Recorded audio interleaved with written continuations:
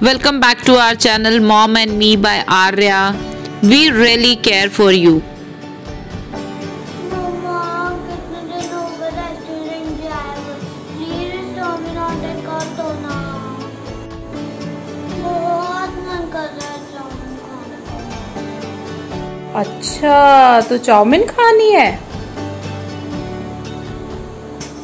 तो फिर मैं घर में ही ऐसी चाउमीन बनाने की कोशिश करूँ? देखते हैं क्या पता आपको पसंद आ जाए। तो चलिए फ्रेंड्स, आज मैं एक और ऑर्गेनिक प्रोडक्ट के बारे में आपको जानकारी देती हूँ, जो कि टेस्टी भी होता है और बहुत हेल्दी भी। अगर ये वीडियो आपको पसंद आए तो प्लीज़ इसे लाइक ज़रूर कीजिए और अपने फ्रेंड्स के साथ भी शेयर कीजिए। मार्केट जैसी चाउमिन या नूडल्स बनाना घर में बहुत ही आसान है और इसके सारे स्टेप्स मैं आपको आज बताऊँगी। वीडियो थोड़ी लंबी है, इसे आखिरी तक ज़रूर देखें क्योंकि मैं छोटे छोटे इसमें आपसे टिप्स भी शेयर करूँगी।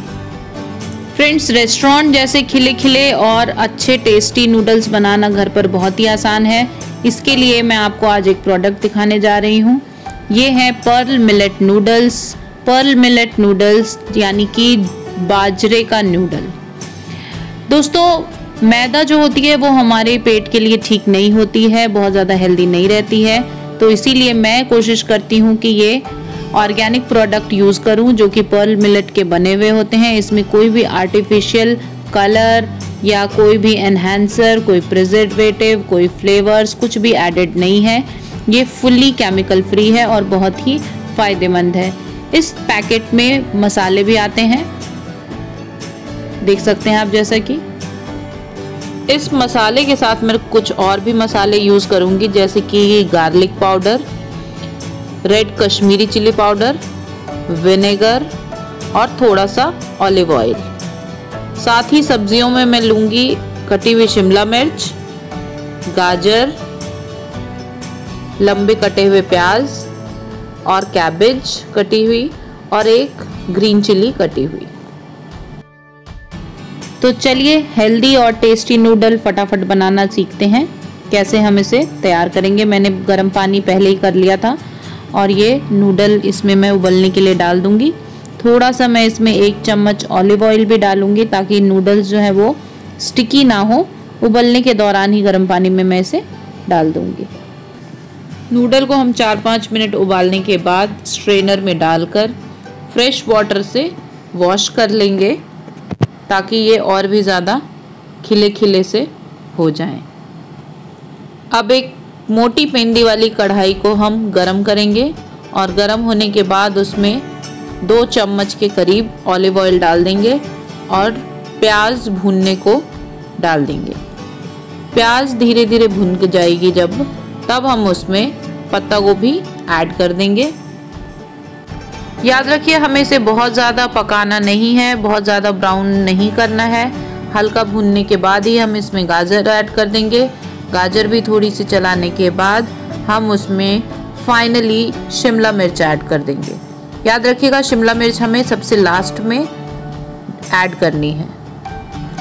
इसके बाद हम इसे थोड़ी देर और चलाएँगे और अब हम जो हमारे मसाले हैं, वो इसमें ऐड करेंगे। मैंने जैसे पहले ही आपको दिखाया था कि इसमें इसके साथ ही मसाला भी आता है। वो मसाला हमने इसमें ऐड कर दिया और थोड़े सा भून लेंगे। साथ ही इसमें हम ऐड करेंगे garlic powder half teaspoon red chilli powder half spoon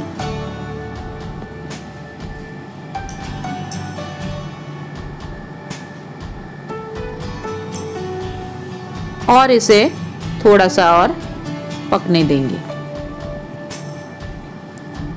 अब हम इसमें विनेगर मिला लेंगे।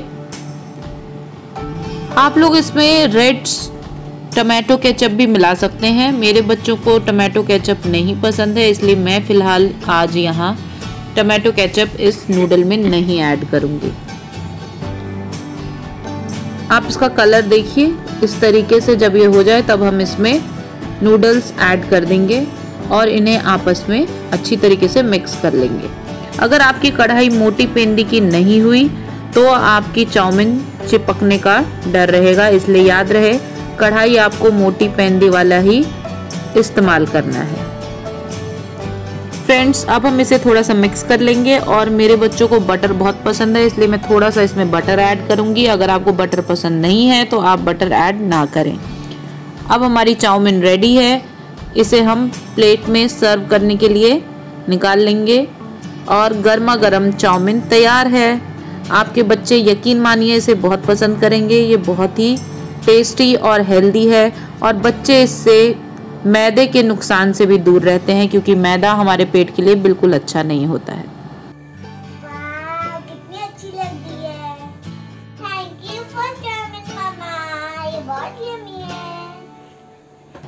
Thanks for watching this video मिलते हैं जल्दी ही एक नए वीडियो के साथ।